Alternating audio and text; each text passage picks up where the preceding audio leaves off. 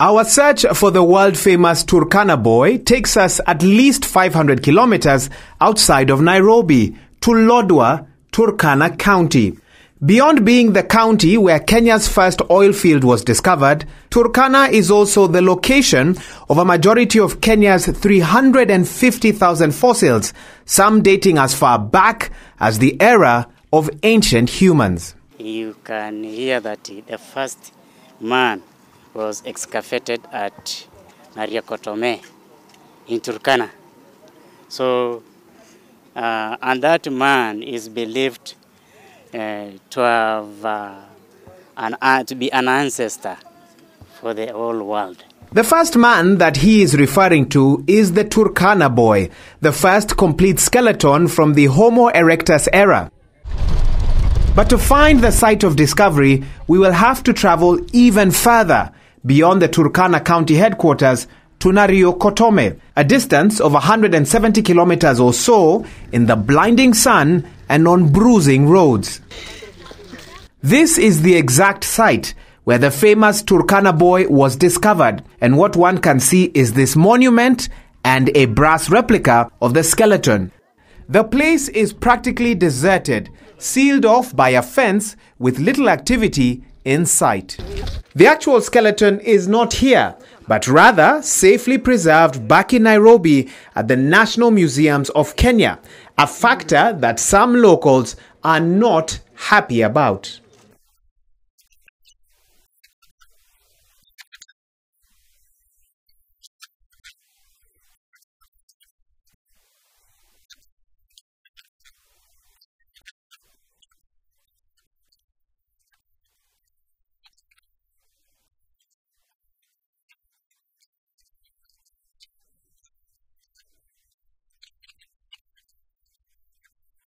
According to the National Museums and Heritage Act number 6 of 2006, the National Museums are supposed to serve as, and I quote, national repositories for things of scientific, cultural, technological, and human interest, end quote. Since Turkana Boy predates Turkana culture as we know it, his national status places him under the responsibility of the national government through the National Museum. If you're going to bring the Turkana boy, where are you going to put the Turkana boy? It is the only, only, almost complete skeleton of an Homo erectus we have in the entire world. And it is nowhere else stored. It is in National Museums of Kenya. In a strong house hata ukibomu Nairobi leo, it will still survive. So, mzidhani iko America, iko wapi? It is here in Nairobi. So we return to Nairobi and make our way to the National Museum of Kenya to meet the head of Earth Sciences, Dr. Frederick Manthi. Good, good to see you, Wahiga. Good to see you. Welcome. Yeah, well, yeah. He leads us to the strong room at the museum. This location, we are told, is also fireproof and bomb-proof. Wow, so this is the strong room, huh? Yeah, this is a strong room. Okay. Uh, this is the room in which we store Kenya's very famous fossil materials. Uh, Kenya is very famous for being the cradle of humanity, but among those, Kenya is very famous for one very key fossil, Okay. the Turkana boy. And here is a Turkana boy.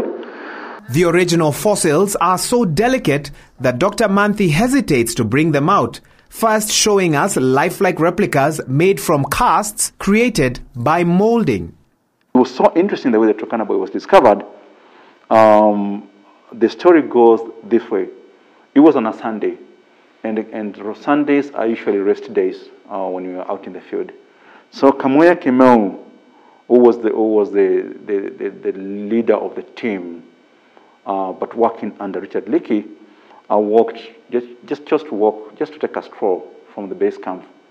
So he found a small fragment of the, of the, of the skull and he knew right away that he, he, had, he had discovered a, an early human ancestor. And out of that little skull, they, they I mean, the, the Turkana boy was discovered. 37 years later, scientists have been able to discover a lot more about this priceless skeleton. The Turkana boy died between the age of 8 and around 12 years old. 8 and 12. Turkana boy dates to around 1.6 million years ago. It's really one of Kenya's iconic fossil discovery. Out of Turkana boy, there's been tens and tens of PhD uh, projects. Uh, if you go to most museums across the world, you'll find a, a skeleton of the Turkana boy on, on, on display. Go to big museums in the US and all over the world. And now, after patiently waiting, we will finally get the rare opportunity to see the real deal, the preserved remains of Turkana Boy. This is the original of the original fossil of the Turkana boy. And you can see very well uh, this is, is a, a duplicate of that. And the originals are usually very, very, very fragile. The difference between Turkana Boy and modern humans is that they had smaller teeth, a smaller overall size and thinner, less robust skulls, and a larger face. But has Kenya fully capitalized on this discovery to attract tourists and create jobs in the process? I think as a country, we need to come out really out of our closet, our closet and talk about Kenya being the cradle of humanity. We have a very, very rich and very complete fossil record that documents our history to far back in time than South Africa does or have. And I know KTB and, and, and other arms of the government are working on this, but I think there's, there's need for, for more aggressive way of dealing with this, this particular issue. Turkana Boy falls into the Homo erectus classification system, all of whom are now extinct. Scientists believe that modern humans, also known as Homo sapiens, evolved from this Homo erectus. However, this scientific hypothesis usually runs into conflict when compared with religious history. Religion is wonderful.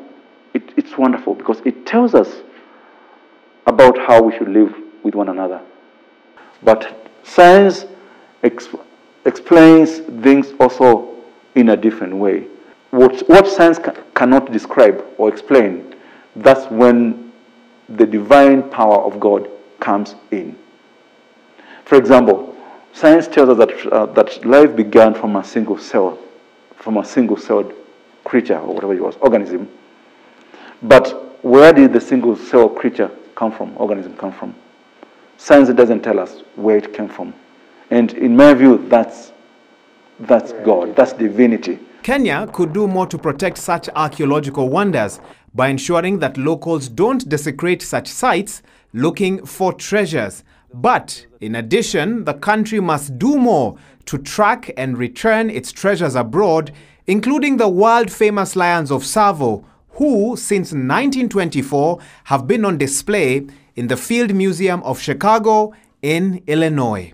Wahiga Mwaura, Citizen TV.